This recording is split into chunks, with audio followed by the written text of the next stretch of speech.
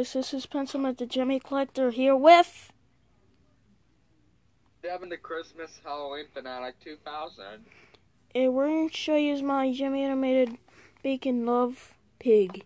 And I got this for Valentine's Day this year for like it's from Big Lots, it's sold at Big Lots and it has a hat on it and I like the song so let's go.